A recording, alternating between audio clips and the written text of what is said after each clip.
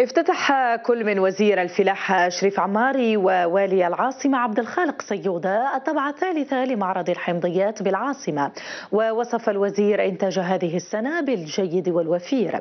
المعرض كان فرصة للاطلاع عن كثب على التنظيم المهني وانشغالات المنتجين حيث نبه الوزير إلى ضرورة عقد اتفاقيات شراكة بين المحولين وممثلي المنتجين لدعم الصناعات التحويلية وكذا الذهاب نحو رفع حجم الصادرات في هذه المادة. طلعنا على يعني إنتاج وفير ومتنوع وانتاج يعني يتميز بجودة عالية وكانت لنا الفرصة يعني للاطلاع على التنظيم المهني والمنتجين والانشغالات المنتجين متعددة المهن للحمضيات. وبهذه المناسبة يعني نحن يعني ننوه بالدعم اللي قدمته الدولة والمجهود اللي قاموا به المزارعين والفلاحين. وهذا ما يخلينا مرتاحين إن شاء الله لأجل تدعيم السوق الوطني بهذا المنتوج تاع الحمضيات اللي هو مطلوب كثير.